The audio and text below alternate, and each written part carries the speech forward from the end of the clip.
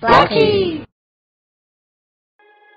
Hello，各位疯狂的 Bucky Capstone，我是粘土。某一天我就在想，我竟然都盖出了所有的村民职业的室内装潢，那要不要盖个房子啊？所以我就想出了这一集的内容。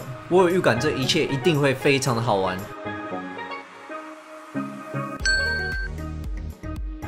我这次选用方解石加上白色混凝土粉末，去创造绵羊身上羊毛的意象。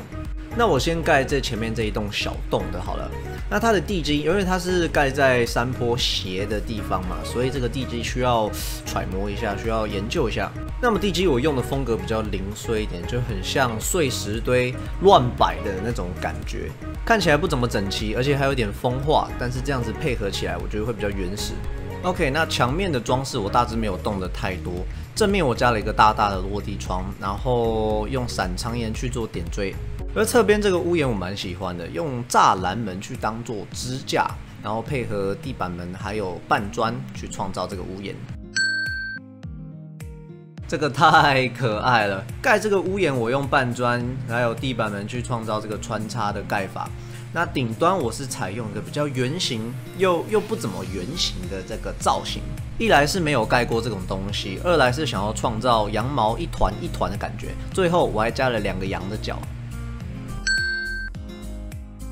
主楼的左半边，首先我先向外突出了两格，一二去增加这些柱子，两根柱子之间取平均，把这一边墙面去往内凹，创造立体感。这个手法用过 N 遍了，但还是很好用。屋檐也是采用刚刚半砖加上地板门的穿插式盖法，虽然这种小小的细节看起来不怎么样，对吧？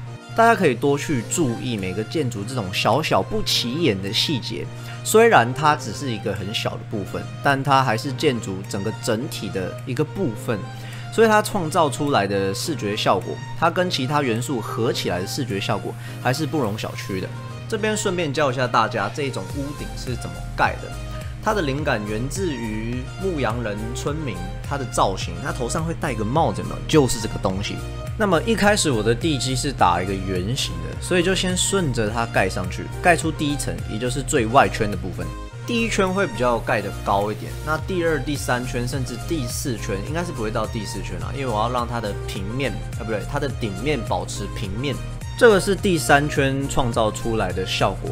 而第四圈看起来就会比较尖一点，我会想要让它像个帽子一样，我会想要让它平一点，所以第四圈我是不会加的。那么盖法是这样子，你越往上，那就会往内缩一圈；往上一圈，就会往内缩一圈，就像这样子，像阶梯状一样。一开始在侧边会看起来这样子方方的，你可以把角落打掉，去创造更多的立体感，这样看起来就不一样。那加上不同的材质、同一种色系的方块，去创造更多的材质上的细节。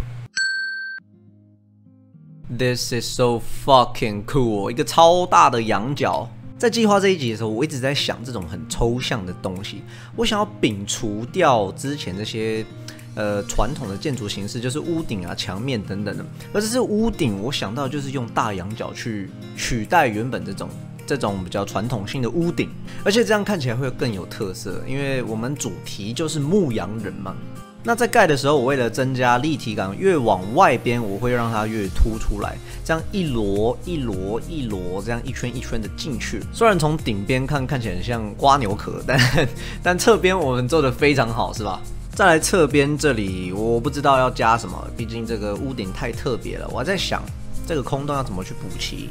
最后把这边变成一个角窗加上阳台的构造。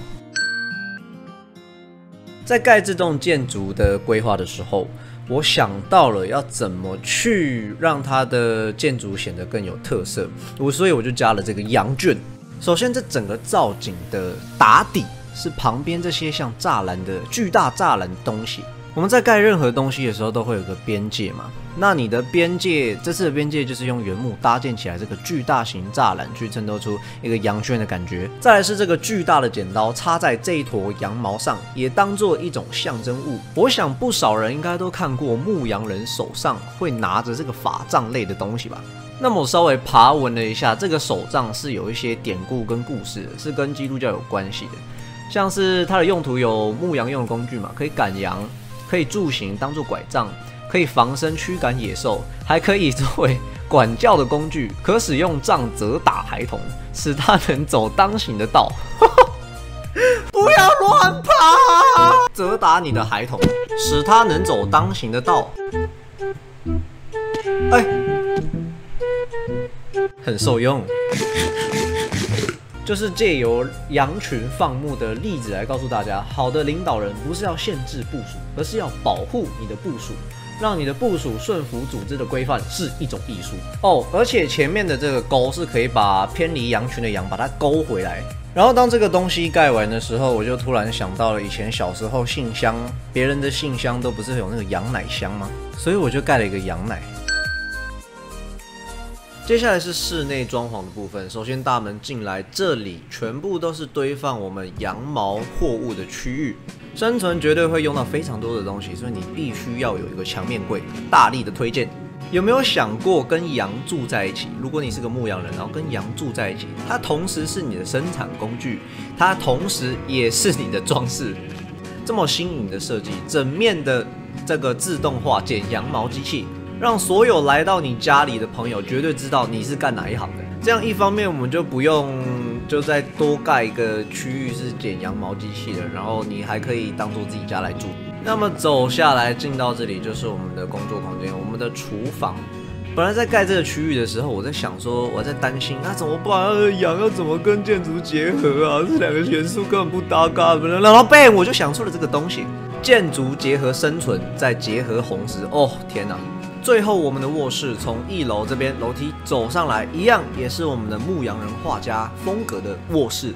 那这次我盖的方式是先盖外观嘛，才盖室内，所以我做出了这个呃呃没有在预期的情况下做出这个楼中楼中楼的设计，然后还有一个宠物羊的吊灯。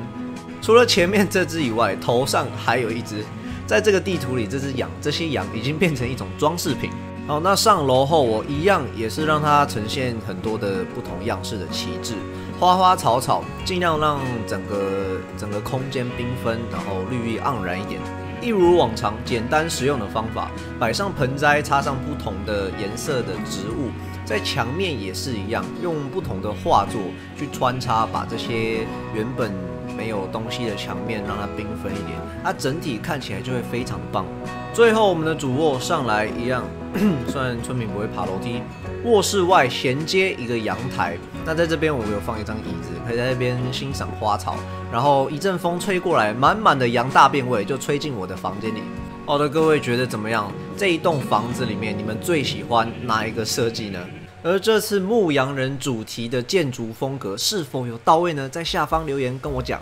最后，我要把这个周遭做一点小小的美化，这样拍 replay mod 的时候才会比较好看。但这里是 Blocky Capstone，我们下期再见。